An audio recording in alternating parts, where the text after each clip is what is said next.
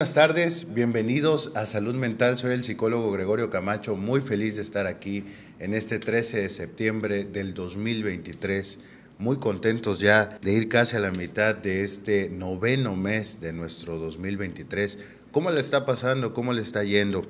Ojalá que pueda acompañarnos en el resto de los programas. Son 30 minutos que se pasan muy rápido, pero que los hablaremos de la manera más productiva posible. Gracias a los que se van a conectar en Facebook. Recuerde que estamos a través de Ultimatum MX. Gracias por seguir la señal. A los que nos van a escuchar en modalidad de podcast, en Apple Podcast, en Spotify y en las demás plataformas, así como en YouTube. Bienvenidos. Muchas gracias por estar aquí. El día de hoy es un tema muy, muy importante a propósito de la conmemoración del Día de la Prevención del Suicidio, que es en septiembre 10. Estamos muy contentos de que en muchos medios de comunicación se esté difundiendo esta información tan importante. Por ello, el día de hoy vamos a hablar de, de algo que es sumamente este, importante ¿Qué hacer ante una conducta de riesgo suicida? Por lo que nos vamos a tomar unos segundos para ir saludando a las personas que estén eh, en las redes sociales. Gracias a cada uno de ustedes que se va conectando. Eh, en este programa vamos a hablar sobre qué hacer ante una conducta de riesgo suicida.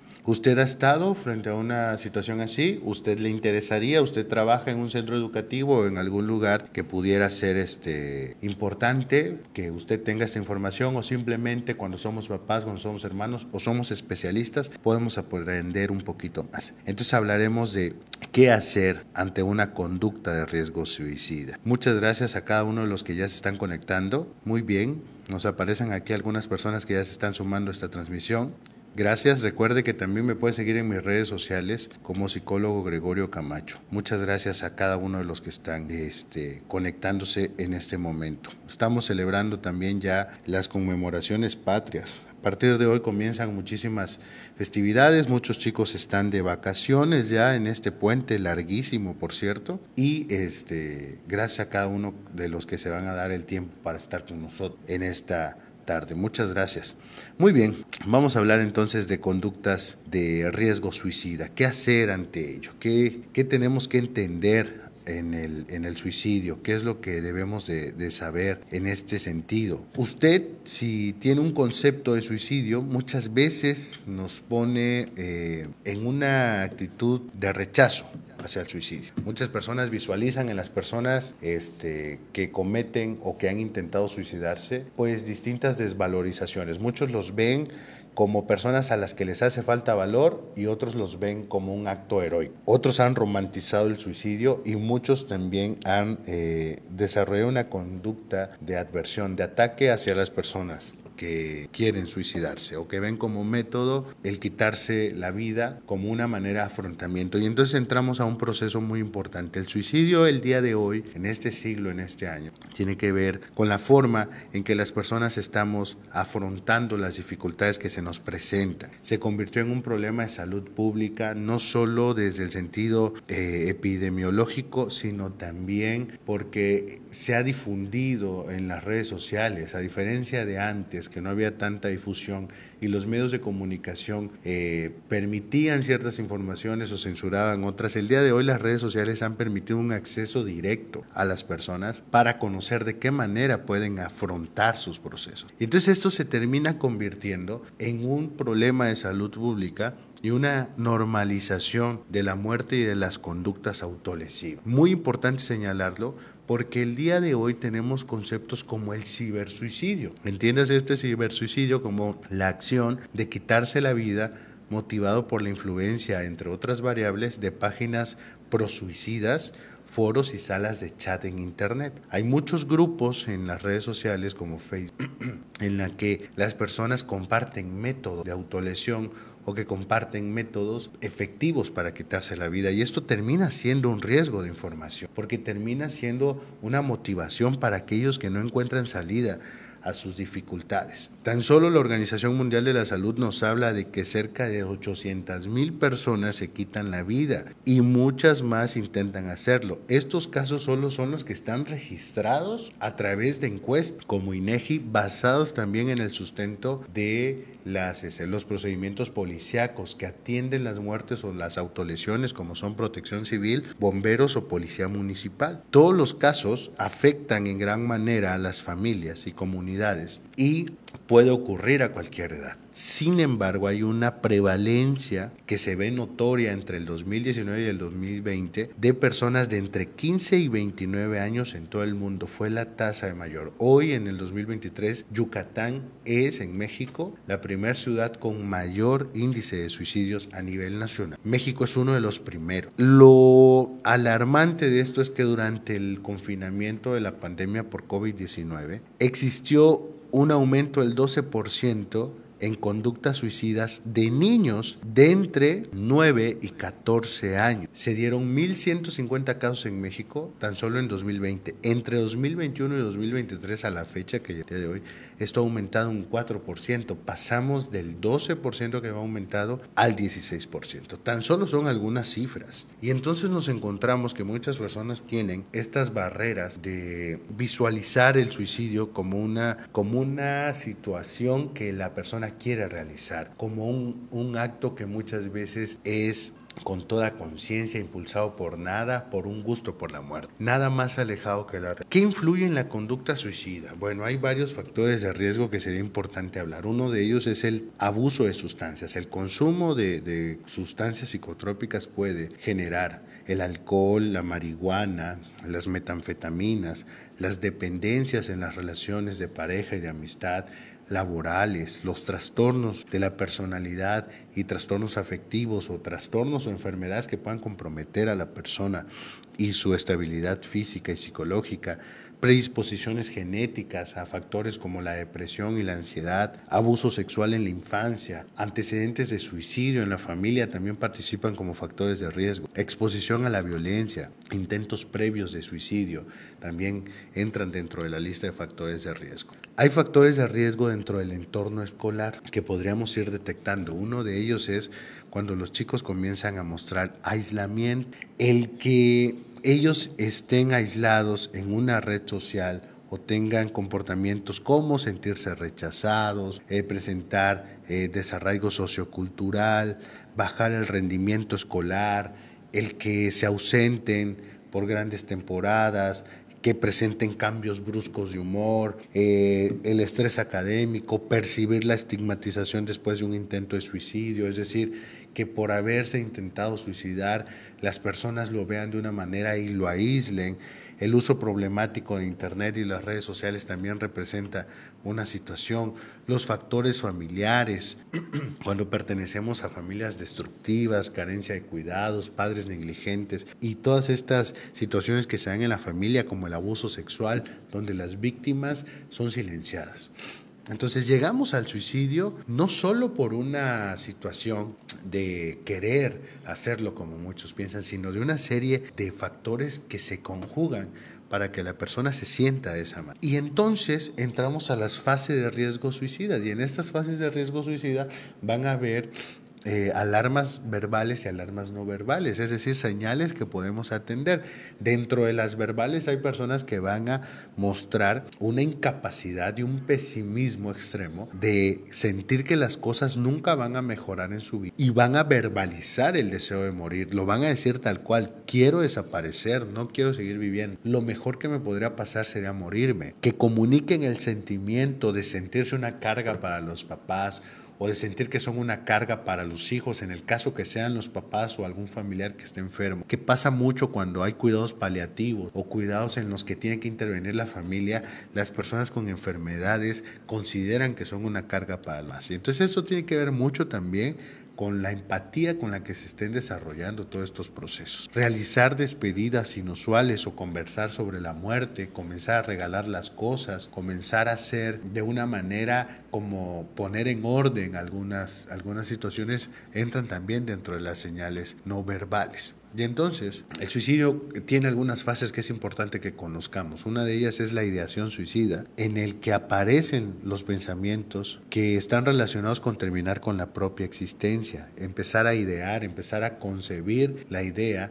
de que puedo quitarme la vida. Eh, la segunda fase es la amenaza, atentar contra su vida para conseguir algo. Muchas veces eh, estas amenazas son hacia las parejas. Si me dejas, me voy a matar o a los papás, si no me haces esto o no me consigues lo otro. O sea, el, el, suicidio no hasta ese momento no es planificado, es únicamente como, como una expresión de amenaza.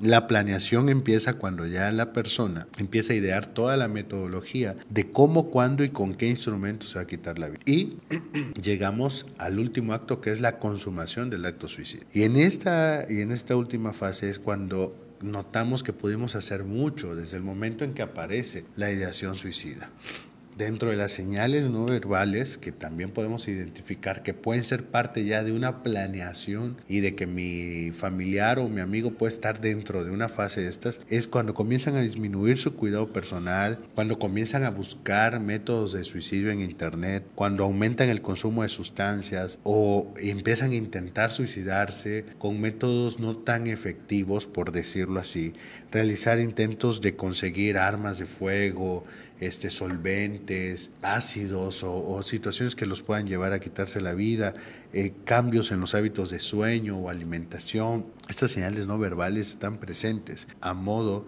de que la persona va por así decirlo, eh, mostrando en, situaciones no dichas lo que está pasando. Y es importante identificar. Eh, recuerde una cosa, de a lo que usted se dedique y en la parte que, que, usted este, haga funciones, algo que es importante tener en cuenta es que hay que ir con la idea de que preservar la vida de quien se quiere atentar contra sí mismo es nuestro objetivo cuando vamos a intervenir en una conducta de riesgo suicidio. A veces nos toca estar en el momento porque es un familiar y necesitamos estar listos. Y una de las maneras de estar listos es primero que nada, ser consciente de nuestra idea y de la concepción que tenemos del suicidio, de cómo vemos a las personas que se han quitado la vida o a quienes lo intentan. Si elaboramos prejuicios sin tener datos y precisiones de lo que realmente pasa y solo nos abocamos a lo que hemos creído siempre, no vamos a poder ayudar de manera adecuada a las personas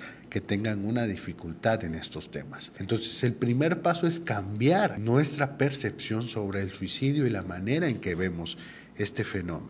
Cuando se detectan señales de alerta de riesgo suicida, se activa el abordaje verbal o emocional consensuado. Es decir, yo quiero hablar contigo, yo busco hablar contigo, busco escucharte, que creo que es primordial. Una de las cosas que siempre debemos de saber es que tenemos que escuchar más que hablar, porque no se trata a la hora de que la persona me está diciendo que quiere terminar con su vida o que quiere hacerlo y demás, que yo lo convenza de, que eso está mal. Más bien tengo que escucharlo. El primer paso es escuchar alertar o avisar a las autoridades en el caso que sea ya un, método en el que la persona está en una, en una, parte de un balcón, en la parte alta o que tiene un arma que se puede hacer daño a él o puede hacerme daño a mí tratar de que la persona permanezca alejada de sustancias o de este tipo de, herramientas que pueden servir para atentar contra su vida y abocarlo al desahogo emocional tratando de estabilizar con cosas muy sencillas que podemos nosotros eh, ir, ir realizando. Por ejemplo, preguntarle a la persona, ¿qué pensabas ¿Qué sentías o qué pasó antes de que tú te comenzaras a sentir? ¿Qué empezaste a sentir? ¿Qué hizo que tú, antes de concebir la idea que te querías quitar la vida, qué pasó? ¿Qué cosas ocurrieron en tu vida?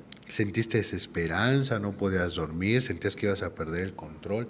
¿Qué podía ser esa, esa situación que pues, como entrar en aspectos relevantes que puedan hablarnos de la situación de la persona? Y después de escucharlo, sería bueno preguntarle qué cosas le ayudan a sentirse mejor. ¿Qué cosas puedes hacer para distraerte o qué cosas has hecho en el pasado que te permiten sentirte mejor o que te han hecho que salgas de este tipo de pensamiento. ¿Es la primera vez que te ocurre? No, no es la primera vez. ¿Y las otras veces cómo saliste de esto? Dar un paseo, hacer deporte, realizar técnicas de relajación, respiraciones, escuchar música. ¿Qué te, qué te ha sacado a flote? ¿Y qué te podría sacar a, flote en este momento? ¿A quiénes podemos... ¿Hay alguna persona de confianza a quien te gustaría hablarle en este momento? ¿Alguna amiga, amigo, a tu especialista si tienes un proceso de atención? ¿A qué profesionales podríamos acudir? ¿Y qué razones tendríamos para seguir adelante? Serían como dentro del repertorio de cosas que podríamos ir hablando. Esto es importantísimo, que garanticemos la presencia de figuras especializadas en este, en este tema de suicidio. Es decir, que nosotros no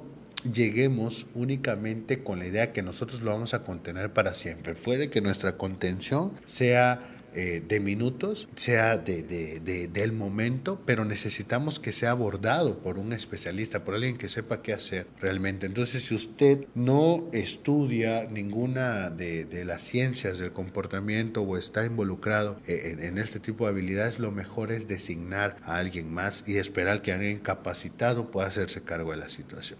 Lo que debemos de saber, y es muy importante tener en cuenta, es que podemos respetar todo aquello que diga y sienta la persona, validar sus emociones y lo que nos dice, normalizar los contenidos verbales de la persona. Lo que le pasa es su realidad y es importante. Ser empáticos, utilizar conversaciones intrascendentes, no entrar en, el convencimiento, inducir preguntas abiertas, añadir preguntas cerradas, utilizar elementos típicos de la comunicación, vaya propiciar la sensación de control y acercamiento psicológico al hecho suicidio. ¿Qué puede estar detrás de esto? ¿Qué te puede estar llevando a sentir lo que estás sintiendo? ¿De qué manera esto está impactando en tu vida? Y entonces nos damos cuenta que podemos tener eh, en nuestro haber herramientas que nos pueden ayudar muchísimo, desde evaluar la presencia física, eh, evaluar el lenguaje no verbal, las confusiones, la orientación, lo que la persona está pasando a nivel este, emocional y tratar como de identificar eh, que puedan, este, situaciones que puedan ser, lo llamemos así, significativas para la persona. Cuando nosotros detectamos que hay un riesgo ya de, suicidio fuerte e impresionante, es importante que entendamos que estamos ante una ante una situación que puede desencadenarse en un suicidio consumado y que no debemos por nada del mundo ser personas negligentes y que tengamos, por así decirlo también, eh, los protocolos adecuados para actuar de manera este, adecuada, de manera asertiva en este tipo de, de situaciones. ¿Qué hacer? Recabamos información, datos, quiénes son sus familiares, este, dónde vive, qué hace, a qué se dedica, qué cosas pudieran ayudar, el contexto de la situación. Eh, abordar de manera asertiva, no crear un ambiente tenso, generar desvío de la atención prioritaria y negociar. ¿De qué manera podríamos negociar para que esta situación saliera mejor? Y entonces nos damos cuenta que podemos, si bien no eliminar la situación, empezar a negociar con la persona sobre el hecho de quitarse o no la vida. Y por ahí vamos teniendo herramientas que son sumamente útiles para eh, poder salvar una vida. La idea es esa, poder contribuir a salvar vidas. Nos dice Elizabeth Ruiz Heidi en los comentarios, ¿la depresión es el principal factor del suicidio? No, no lo es pero sí es uno de los más comunes. No todas las personas con depresión se suicidan, ni todas las eh, personas que se suicidaron tenían depresión, pero sí es un factor importantísimo para el desarrollo de este tipo de conductas. Regularmente los trastornos están relacionados directamente con la manera en que las personas este, conciben la idea de vida o incluso la idea de muerte. Es importante tenerlo en claro. ¿Por qué? Porque muchas personas se confunden y consideran que eh, tener depresión no puede acabar mal. Tener depresión muchas veces piensan que son elementos transitorios, que no se debe más que a la forma en que la, la persona aborda los procesos de su vida y en realidad muchas veces tiene que ver también con predisposiciones genéticas, con eventos traumáticos, con una desregularización en el sistema nervioso de la persona que no necesariamente responde a actitudes y comportamientos, sino que son eh, conectividades en el cerebro que no responden bien, que no son adecuadas que están comprometiendo el estado de ánimo y ante esas situaciones son donde debemos de actuar y ser conscientes de que el suicidio y la depresión pueden ir de la mano y pueden ser también porque la persona se cansa de vivir con tantos problemas y de la manera en que ve su vida y de la manera en que ve a los demás y de la forma en que estas problemáticas le llevan al límite. Imagínense usted que de un día a otro te quedas sin trabajo después de estar años, décadas sirviendo a una, a una empresa, a un organismo. Y cualquiera podrá decir, bueno, es que este, las cosas terminan, hay que verlo así. Sí, usted puede verlo así, pero la persona que tiene depresión no necesariamente lo va a visualizar así. Lo va, lo va a visualizar desde su cosmovisión, desde la manera en que aborda las cosas, desde su percepción. La pérdida de seres queridos, la, el diagnóstico de enfermedades como el cáncer, VIH o procesos significativos en la salud pueden también comprometer el estado emocional de una persona y por ende sentir la necesidad de desaparecer. No es que el ser humano tenga una tendencia a quererse ir o eliminarse, pero llega un momento en que sentimos que los problemas nos abruman tan que en lugar de buscar solución, buscamos cómo dejar de sentir y en lugar de buscar cómo salir de eso, buscamos cómo nosotros desaparecer de la situación. Y es importante entenderlo porque esta lógica del suicidio es lo que está haciendo que muchos de nuestros seres queridos eh, se, nos, este, se nos conviertan en, una, en un recuerdo, en algo que pudimos haber hecho, en algo que pudo haber sido distinto. Entonces hay que tener estas herramientas, a usted le pueden servir estas herramientas, podemos tenerlas a la mano y sobre todo podemos ser personas que ante una situación como estas podamos actuar de una manera adecuada. Yo les agradezco mucho a cada uno de ustedes por haber estado en esta tarde acompañándonos. Gracias por darse el tiempo de escuchar estos temas, por ser este, muy, muy colaboradores en, en estar con nosotros en esta tarde. Gracias a quienes nos van a escuchar. Puede enviarnos sus comentarios y sus preguntas. Aunque este programa haya finalizado, siempre tenemos un apartado de preguntas en el que usted va a poder este, tener acceso y podernos eh, hacer una pregunta que sea de su interés. Agradezco mucho a todo el equipo de producción por esta tarde. Recuerde que los miércoles en punto de las 6 de la tarde estamos aquí en Ultimatum MX y gracias a cada uno de ustedes por este, estar con nosotros. Muchas gracias de verdad por seguir aquí y agradezco mucho a cada una de las personas que estuvieron en este programa. Recuerde, la prevención del suicidio la hacemos todos, todos podemos colaborar. El suicidio es la única muerte que se puede prever. Así que adelante, que esto sea también una enseñanza para todos y les agradezco mucho el tiempo y nos vemos el próximo miércoles en punto de las 6 de la tarde aquí en Salud Mental. Síganme en mis redes sociales como psicólogo Gregorio Camacho. Es un gusto siempre charlar con ustedes a través de esos canales de educación.